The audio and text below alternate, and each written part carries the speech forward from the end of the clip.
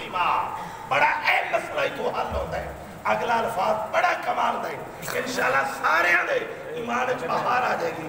جیڑا بندہ ہون تک نہیں بولا خاص کر رانے صاحبان دے زبان دے تالے کھول جان گے سبحان اللہ۔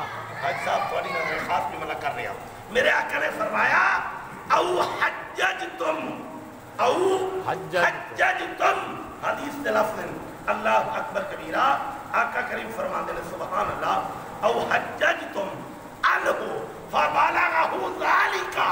حضور نے فرمایا، مرن والا مسلمان ہوئے اور دنیا تو ڈر جاوے، پیچھے بیٹے اور بھائی او دے وارث حجج تم جا کے حج کرن جا کے عمرہ کرن اور عمرے اور حج دا ثواب مرن والے درون بخشن پاک نبی فرماندن میں محمد زامنہ ثواب قبر چکوں سبحان اللہ۔ نعرہ تکبیر۔ اللہ اکبر۔ نعرہ رسالت۔ یا رسول اللہ۔ نعرہ حیدری۔ یا علی۔ سبحان اللہ۔ اکبر۔ بیٹا باقی تو ماشاءاللہ پہنچا چھے ایک نہیں پہنچیا نا۔ ان دے واسطے مسئلہ یاد رکھو او خانے کعبے دا طواف کر لوے۔ توجہ میرے بل کرو۔ کی کرے؟ خانے کعبے دا طواف کرے اور ابے دے نا دا عمرہ کر لوے۔ سبحان اللہ۔ ابے دے نا دا عمرہ۔ اے تواڈے تھوڑے خیرات نال اونوں اجر زیادہ۔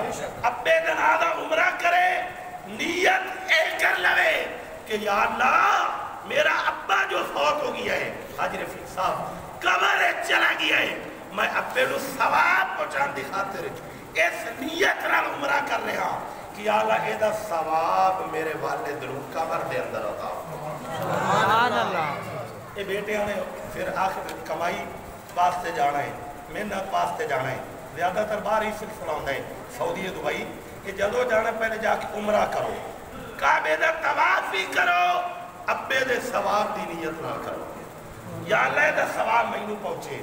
نبی پاک فرماندے کوئی مسلمان فوت ہو جاوے نا ان دے بیٹے ان دے بھائی ان دے وارثاں وچوں کوئی آ کے فرمایا لو کان مسلمان شرط مرن والا بھی مسلمان ہوئے وارث بھی مسلمان ہوں ان دے بعد حج کرے او حجج تم اللہ کو حج کرے یا عمرہ کرے اے دا ثواب مرن والے دے روح بخشے اے نیت کر لوے یا اللہ میں اپنے ابے دے نام دا حاجی صاحب جا کے عمرہ کریں یا اللہ میں اپنے بھائی رفیق دے نام دا عمرہ ادا کر لیا حضور دا جملہ سنو۔ پاک نبی فرماندن طواف کرن والا زندہ ہوئے گا اور دے حجر اسود نو چمے گا صفات مروہ تے دوڑ لائے گا مقام ابراہیم تے نفل ادا کرے گا۔ پاک نبی فرماندن میں محمد زامنہ ثواب قبر اچ پہنچ سبحان اللہ۔ ماشاءاللہ انہیں بیٹا مکھن لال تو سبزیوں کے نام مکھوڑے اللہ اکبر۔ فرمائے ایک کعب اتے سعودی موجود ہے بیٹ ابے دنا دا عمرہ کرے۔ طواف کرے کعبے دا۔ خدا دی قسم طواف او سعودی مکے کر رہی ہوئے گا یہ دا ثواب آتی چک دے قبرستان باب فضل شاہ دے قبرستان وچ پہنچے گا۔ سبحان اللہ۔ اللہ دے نبی دا حکم ہے میری گل نہیں۔ بخاری شریف وچ میں ثابت کرنا بخاری شریف ہی موجود ہوئی ہے او دے بھی کھانا اللہ دے نبی فرمایا کہ اولاد ابے دے مرن دے بعد حج کرے، عمرہ کرے، صدقہ خیرات کرے، قرآن دی تلاوت کرے، نماز پڑھے، روزہ رکھے، کہ ثواب بخشے مالی عبادت ہوئے جانی عبادت ہوئے۔ ثواب بخشے بخشو حضور فرماتے ہیں میں محمد زامنہ یہ ثواب بیٹے نو بھی پورا ملے گا۔ اور اللہ اپنے خزانے وچ مرن والے نو بھی اجر عطا سبحان اللہ۔